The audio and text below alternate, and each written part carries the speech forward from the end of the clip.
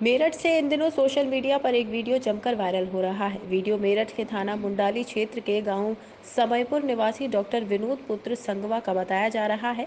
इस वीडियो में डॉक्टर विनोद भाजपा से राज्यसभा सांसद कांता करदम और उनके पति वीर सिंह को खूब गंदी गंदी गालियाँ देते नज़र आ रहे हैं। इतना ही नहीं, वीडियो में देखा जा रहा है कि डॉक्टर विनोद अपनी रेड कलर बाइक पर रास्ते में कहीं चल रहे हैं। चलते चलते कांता करदम और उनके पित और उनके पति वीर सिंह को खूब गालियाँ दे रहे हैं। डॉक्टर विनोद समयपुर निवासी बताए जा रहे हैं, जब इस वीडियो की पड़ताल की गई तो पता चला कि यह वीडियो डॉक्टर विनोद जो समयपुर निवासी हैं, उनका है।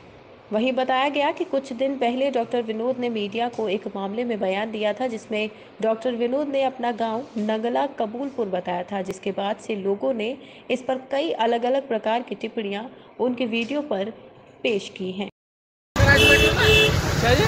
और क्या कह दिया ऐसा?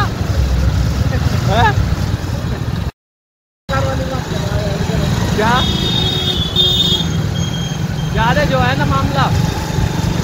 कुछ ये नेताओं ने भी ऐसे करा।